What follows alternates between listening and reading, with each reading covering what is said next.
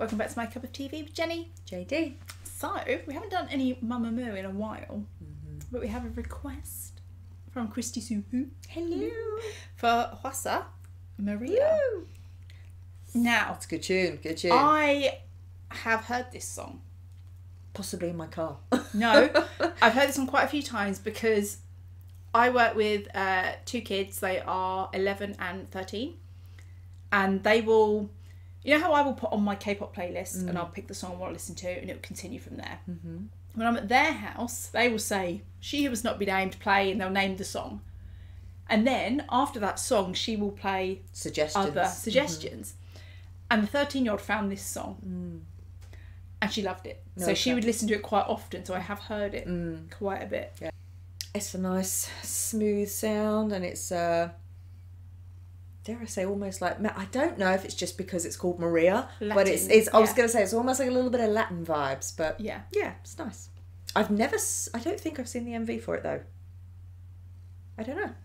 So, might be new. I'll let you know Um, once it's on if I can recall. But I reckon she's going to look gorgeous. I, I reckon you're right.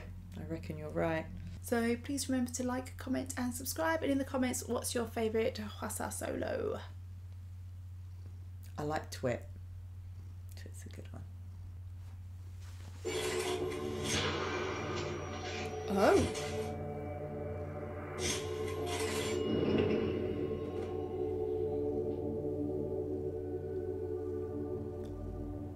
This started dark.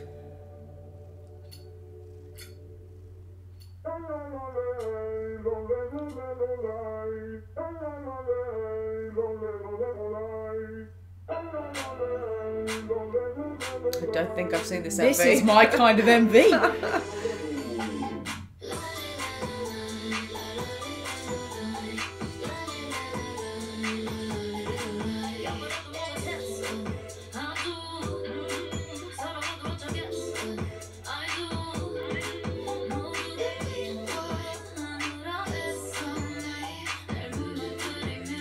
Oh, I like what she's saying.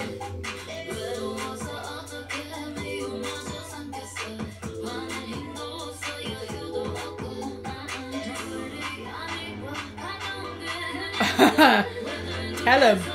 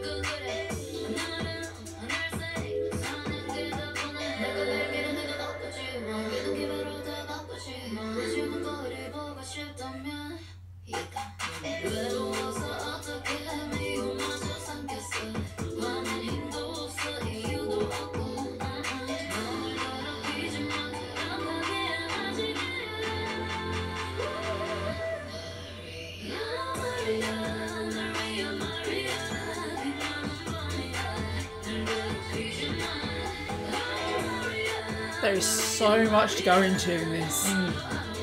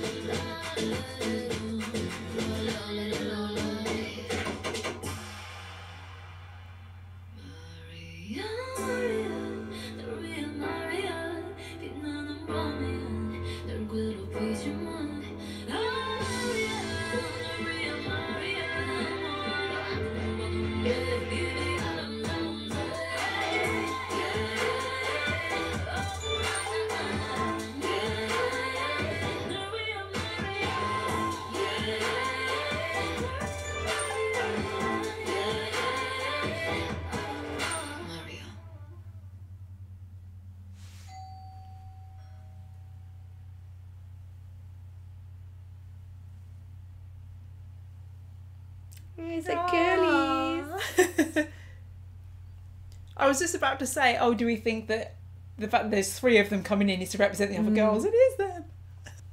Wow. The lyrics and everything in that MV was telling us exactly what she's saying. yeah.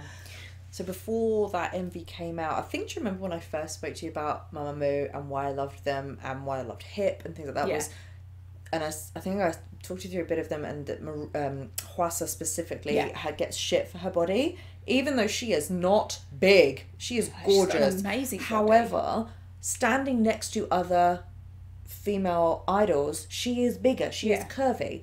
And she has said before, she's like, I'm not gonna starve myself, cut myself, make myself, I'm not gonna force my body to be something it's not. Yeah. I love myself too much for that. And like, she's had to really fight to, and that's what that song represents. Um, and it was, it was basically like a clapback at, you know, you're, if you're so concerned about me, how come you're spending all your time talking about me? Yeah, I to be honest, I didn't necessarily link it to her body, Mm. But that's I the irony because how good does she look? but I Like, linked how could it anyone to as an idol, all the shit you get, and for Yeah. what? Yeah. Why? Why do you have to be so hateful? What? sure. What's the point? Yeah. You don't like it. You can just watch something else. Listen to something else. You don't.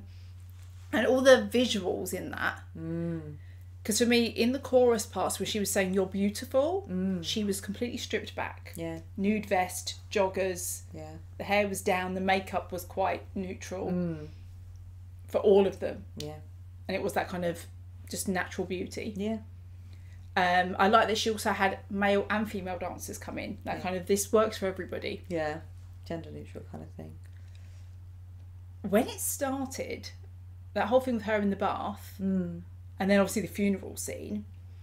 I think that was a nod to Idol suicide. yeah, this leads to suicide. It's it's Yeah. that serious. You're throwing these Yeah. out irresponsibly. And it was like all of them, like death for a thousand paper cuts because Yeah. all of them could be a little dagger. And I not was really only that, but the fact that it was in a bath and they had the crime tape and all the photographers. Yeah. It wasn't like a crime scene. You didn't get grace or, or respect or privacy. Yeah, it was death. still even that you're gonna Yeah. use. Yeah. Um, there was the whole thing of the straitjacket. Mm. It can drive you insane dealing with all of that, Mhm. or people think you're insane if you clap back. Or, Mm. and when she was sat there and all the pencils were coming at her, Mm-hmm. Mm-hmm. I took that to mean the things that people write online Mm. or write about you in magazines Yeah. that they just don't take responsibility for the Yeah. impact that can have Yeah. because you know you can have computers flying at her Yeah. pencils I also personally thought that could have been a double meaning of um, when you go in for like a surgery or something, they mark your skin with a pen. ah yeah And then obviously the crown that she picked up with diamonds was all like needles. Mm, yeah And it's like, even if I got all, if I gave in to your demands, I got all this surgery, like, first, first of all, you shouldn't have to do that. yeah Would I be myself? Would that make me happy? Like, no, like, there are Yeah. healthier, more holistic ways to find happiness. And it was just like this kind of giving in to, should I, you know, should Yeah. I give in? Or why people give in to that is because of this bloody pressure. yeah So, I looked at the crown as even when you are at the top you're the queen of K-pop it's painful. You're still getting all these It's painful. Doesn't Needles come coming without out, yeah, pain. yeah. Yeah. yeah, It literally takes the sacrifice of your blood. Yeah, yeah, and that's why I remember. Um, I haven't seen the MV. I thought it was fantastic, Yeah. but I remember reading about the song when it came out because I was like, "Oh, what's this all about?" Mm. And again, I was like, "Yes," because this literally, I did. I've never understood why people gave her shit. I was like, "She's gorgeous." And I love the fact that there are some different figures in K-pop. Like you want representation of different women. do you know what I would do to have a her figure Oh, yeah. um and well I mean in the beginning when they were sat at the table and she was covered in blood and Mm, mm. I love it though because she was like, "Fine, Yeah. I'll make opportunity out of this. Yeah. You you want to hate me? Fine, let's go ahead. I'll make money out of your dark shit. I Does this put meat it. on your table? Like, Yeah. yeah, love it. Because she's like, because it fucking does for and me. And the fact that she was direct there was no innuendos there was no metaphors it was No. directly saying Yeah. what are you playing at yeah.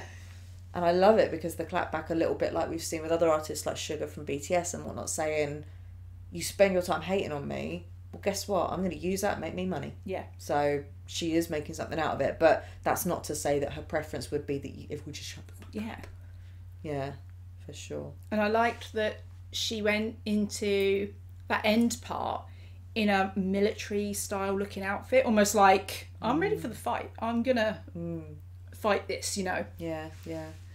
And I can't remember. I'm really sorry, guys. Please, um, please let us know. But um, Moo um, the name Maria, I think it has biblical connotations of someone who was chastised, Uh, and I think that's why it was Maria. yeah, Good for her. Clap back on that. And that obviously the the women of Mama Moose support her in that, and they're like, hell yeah, yeah, having them sharp at the end. Yeah, definitely. So, so nice. it was definitely a, a mm. thing of girls got your back. Yeah. so that was our reaction to Hwasa Maria. Thanks for watching, and we'll see you on the next one. Bye. Bye.